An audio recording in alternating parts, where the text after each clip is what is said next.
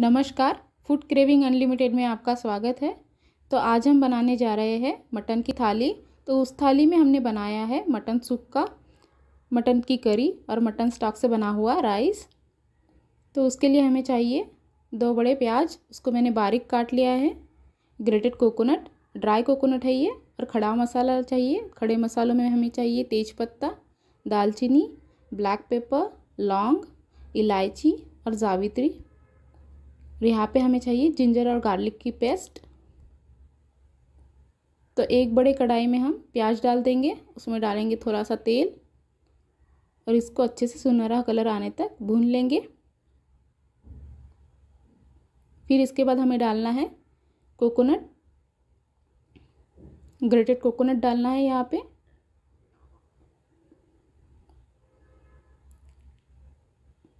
इसको अच्छे से मिक्स कर लेंगे।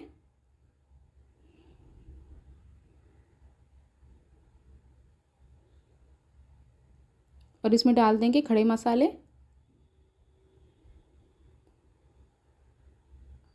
और इसको अच्छे से ड्राई रोस्ट कर लेंगे। और जब ये ठंडा हो जाएगा तो इसको हम मिक्सी में डाल के उसकी पेस्ट बना लेंगे। पेस्ट बनाते समय हमें इसमें थोड़ा सा पानी डालना है। और यहाँ पे मैं यूज़ करूँगी थोड़ा सा रेड चिली पाउडर एक चम्मच। इसके ठंडा होने के बाद ये हमने पेस्ट बना ली है।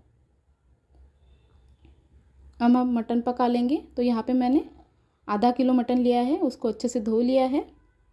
एक कुकर में थोड़ा सा तेल डाल लिया है, उसमें डालेंगे प्याज। खड़े मसाले, दालचीनी, ब्लैक पेपर और तेज पत्ता। इसको अच्छे से मिक्स कर लेंगे। फिर इसमें डालेंगे आधी छोटी चम्मच हल्दी।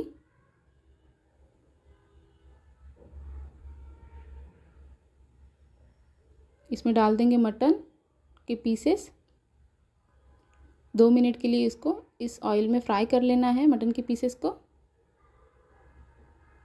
इसके लिए मैंने पानी गरम किया है तो इसमें गरम पानी डालना है।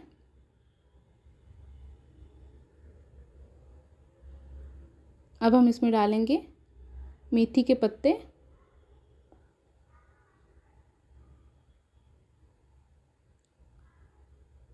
और नमक स्वादानुसार?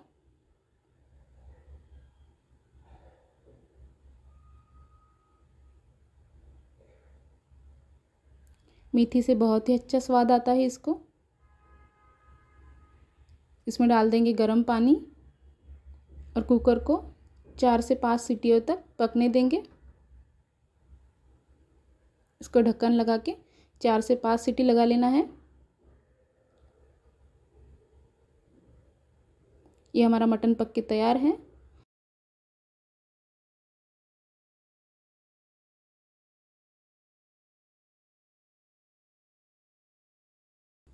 अब यहाँ पे हमने मटन के पीसेस निकाल लिए हैं और मटन का सूप और मटन का राइस बनाने के लिए निकाल लिया है।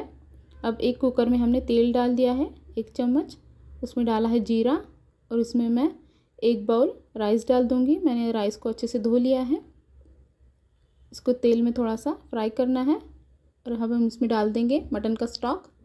यहाँ पे मैंने एक बाउल राइस के लिए दो बाउल स्टॉक इसमें यूज़ करेंगे हम और डालेंगे थोड़ा सा नमक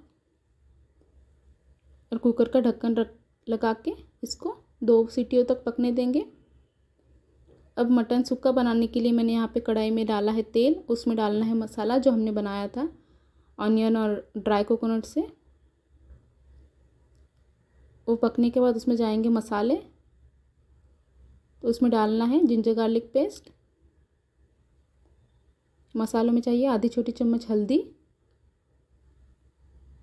एक चम्मच रेड चिली पाउडर,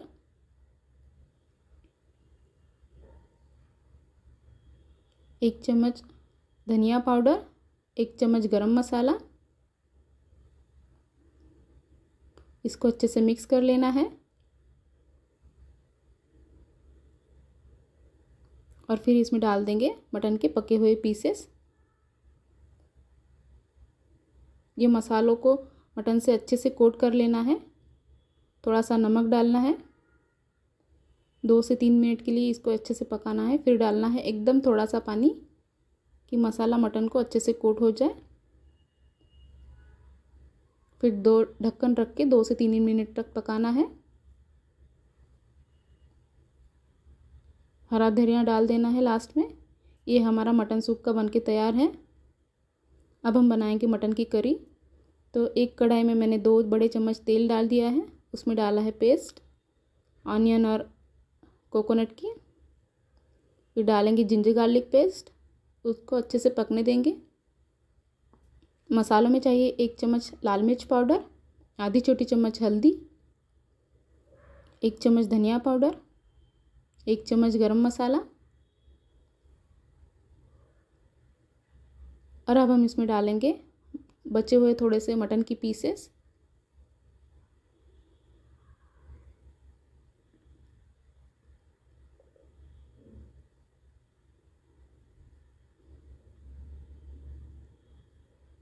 इसको अच्छे से मिक्स कर लेंगे। फिर इसमें डालना है पानी। यहाँ पे मैंने मिक्सी का पानी लिया है थोड़ा सा। वो मैं डाल दूँगी पहले। और आप और पानी डाल सकते हो। आपको कैसी कंसिस्टेंसी चाहिए उसके हिसाब से। इसमें डाल देंगे थोड़ा सा नमक। और इसको अच्छे से बॉईल कर लेना है चार से पाँच मिनट के लिए। और डाल देना है हरा धनिया। ये हमारी मटन की करी तैयार है। तो अब हम थाली सर्व करेंगे। यहाँ पे मैंने लिया है मटन करी, सुक्का और rice. So thanks for watching my recipe